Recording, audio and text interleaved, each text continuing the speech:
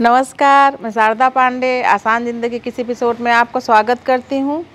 जैसा कि बसंत पंचमी पर्व आने वाला है, बसंत पंचमी से ही जैसे कि छः ऋतुएँ होती हैं तो ये बसंत पंचमी जो ऋतु है, ये शुरू हो जाएगी। तो ये चैत के नवरात्रि तक चलती है बसंत ऋतु। और ये ऋतुओं का राजा है बसंत पंचमी वैसे मैं आपको वीडियो दे चुकी हूँ पर इस वीडियो को मैं उन लोगों के लिए दे रही हूँ जिनको बहुत सारी मुहूर्त की ज़रूरत है, बहुत सारे वो कार्य करना चाहते हैं। शादी का, ब्याह का, और बहुत सारे मुहूर्तों का उनको ज़रूरत है। वैसे हर मास समाप्त होने के बाद बहुत अच्छे अच्छे मुहूर्त भी आ रहे हैं। लेकिन बसंत पंचमी एक ऐसा पर्व है, जो अबूझ पर्व है। और इसमें अमित सिद्धि योग का भी निर्माण होता है। सिर्फ़ इसी साल नहीं, हर साल जब बसंत पंचमी पर्व पड़ता है, उस पर्व में अमित सिद्धि योग भी पड़ता है। वो योग भी रहता है। फिर उसके बाद बसंत पंचमी जो पर्व है, बसंत पंचमी पर्व दोष रहित है। यानी कोई भी इस पर्व में कोई दोष नहीं होता है। इसीलिए इसको अभुज मुहूर्त बोलते हैं। इसी प्रकार से अक्षय तृतीया का भी मान्य है। तो ऐसी मान्यता है कि बसंत पंचमी के दिन कोई भी शुभ कार्य किया जा सकता है। कोई भी शुभ कार्य किया जा सकता है। वैसे अक्षय तृतीया पर भी किया जा सकता है। तो आज मैं आप लोगों को बताऊँगी कि बसंत पंचमी पर ऐसा क्या क्या कर सकते हैं। तो ये जो बसंत पंचमी का जो मैं वीडियो बना रही हूँ, ये हर साल के लिए है।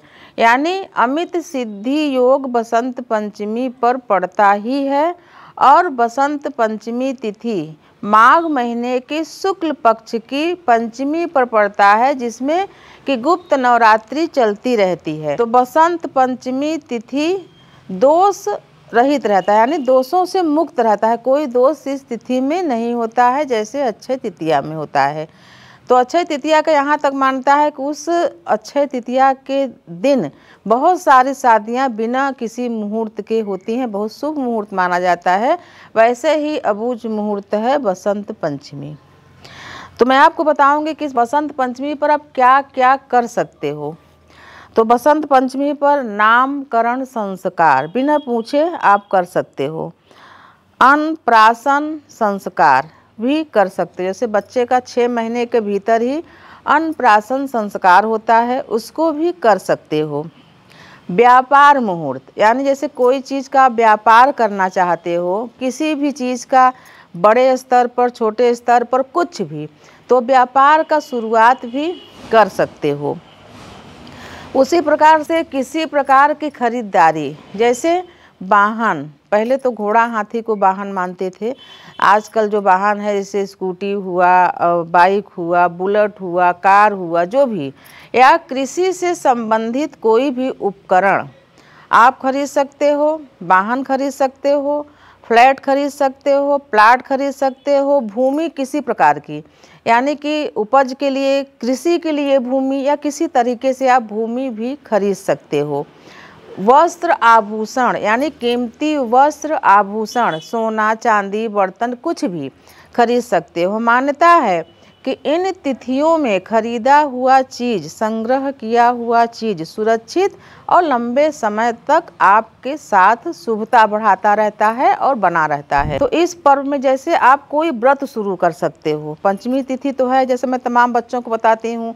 जो पढ़ने लिखने में कमज़ोर हैं, वो बसंत पंचमी तिथि से हर महीने के शुक्ल पक्ष की बसंत पंचमी का व्रत करें, जिसमें एक टाइम वो मीठा भोजन खा सकते हैं।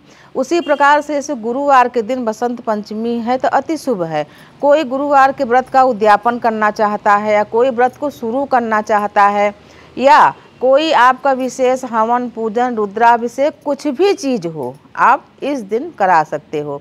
धार्मिक यात्रा, व्यापारिक यात्रा, मनोरंजक यात्रा, किसी प्रकार की आप यात्रा भी कर सकते हो इस दिन, यानी कि बसंत पंचमी के दिन। उसी प्रकार से गुरु दीक्षा, जैसे जो गुरु मंत्र लेते हैं, गुरु दीक्षा लेते हैं गुरु के सानिध्य में तो जो भी आपके आराध्य हों, जिनको आप पूजते हो उनके मंत्रों का गुरु दीक्षा अपने गुरु से, या तो अपने घर पर, या तो मंदिर में, या किसी भी धार्मिक स्थान में जाके ले सकते हैं। तमाम लोग कमेंट करते हैं कि हम गुरु दीक्षा लिए थे पंडित जी कुछ भी कान में बोले थे, उस समय तो याद था, फिर भूल गए। तो आप ऐसा ना करें, पेन और कागज़ ले जाएँ या मोबाइल में ही आप लिख लें कि आपको क्या मंत्र दिया गया है, आपके देवी देवता से संबंधित।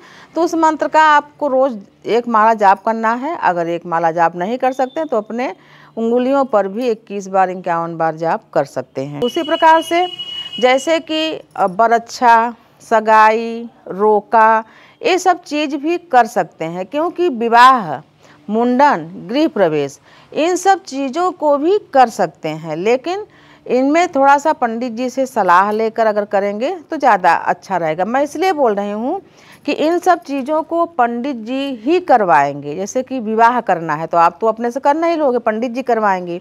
उपनयन संस्कार, यानी जनेऊ संस्कार, वो पंडित जी ही करवाएँगे। कभी कभी पंडित जी व्यस्त रहते हैं, जो भी, पर इस मुहूर्त में आप कर सकते हो। गृह प्रवेश मुहूर्त, जैसे वैसे भी सत्ताईस तारीख को है और छब्बीस तारीख को बसंत पंचमी है।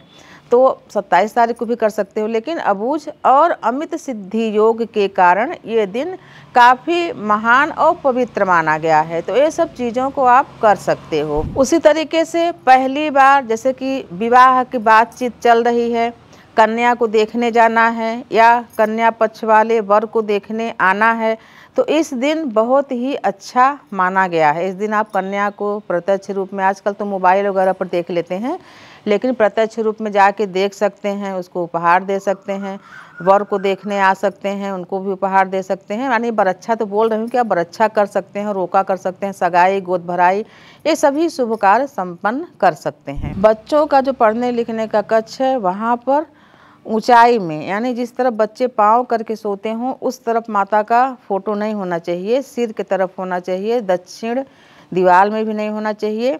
तो पूर्व की दीवार में फ़ोटो होनी चाहिए, उनका ध्यान करते हुए बच्चे पढ़ाई करें। तो जो बच्चे व्रत रहना चाहते हैं या जो सुबुद्धि प्राप्त करने के लिए व्रत रहना चाहता है, वो अलोना व्रत करें। तो आप मीठे चावल बनाएँ, पीले और मीठे चावल। तो अगर हमको तो समय मिलेगा तो आपको वीडियो भी दे दूँगी ना तमाम वीडियो होंगे, सर्च करके आप देख भी सकते हो। हमारे चैनल में नहीं है मीठे चावल, पर ऐसे ही बता दे रही हूँ, आप लिख सकते हो कि मीठे चावल बना के माँ सरस्वती को भोग लगा के, प्रसाद बांट के, कैसे व्रती उसको खा सकता है। तो मीठे चावल यानी एक पाव आप चावल ले लो, एक पाव गुड़ ले लो, उसमें आधा लीटर पानी लगेगा। एक पाव चावल और गुड़ में दो चम्मच शुद्ध देसी घी और कम से कम 12 से 14 काजू ले लो, दो चार इलायची ले लो। तो इनको क्या करो, अच्छी तरीके से जब आप पानी रखोगे गर्म होने के लिए, जैसे हम चावल पकाते हैं, इसमें कुकर में नहीं पकाना है, किसी मोटे बर्तन में आप पकाओ, कि जले ना मध्यम आँच में। गुड़ को जो है टुकड़ा टुकड़ा करके पानी में ही डाल दो, खोलने लगे तो उसी में चावल डालो एक साथ। गुड़ के साथ जो चावल पकेगा, वो बहुत ही स्वादिष्ट बनेगा। उसमें घी भी शुरू में डाल दो। आधा जब अधपका हो जाए, तब उसमें घी और लौंग वगैरह और ये काजू बता रहे हैं इसको। अति स्वादिष्ट बनता है। इसको हम भी बनाते हैं। इसको गीला नहीं हो, इतने पानी में गीला भी नहीं होगा। तो इसको अच्छी तरीके से बना लें। फिर माँ सरस्वती जी को भोग लगाएँ। भोग लगाने के बाद प्रसाद बांट के व्रती पेट भर इसको खा सकता है। बहुत ही स्वादिष्ट व्यंजन बनेगा, पीले और मीठे चावल। उसे तमाम चीज़ें और दिखाई हूँ, उसको भी करें। माता के पूजन में। बौर वगैरह आम का मिले तो उसको भी ले आएँ। और जो साधक पूजा करे, वो हल्दी का तिलक लगा के, पीले वस्त्र पहन के और पीले फूलों की माला फूल ले आकर फिर माता का विधिवत पूजा करना चाहिए। तो आप सभी के लिए बसंत पंचमी पर्व और जितने भी पर्व, जैसे अब गुप्त नवरात्रि चल ही रही है, इसी में महाशुभता बढ़ाने के लिए बसंत पंचमी पर्व भी हर साल पड़ता है इसी समय में। तो सभी के लिए मंगलमय हो ये पर्व, सुखमय हो, आप सभी के बच्चे सुबुद्धिवान हों। और प्रतिभावान हो, खूब पढ़ें, लिखें, उन्नति करें। और ऐसे ही आप हमारे साथ बने रहें, हम आपके साथ बने रहें, देखते रहें आसान ज़िंदगी। तब तक के लिए नमस्कार।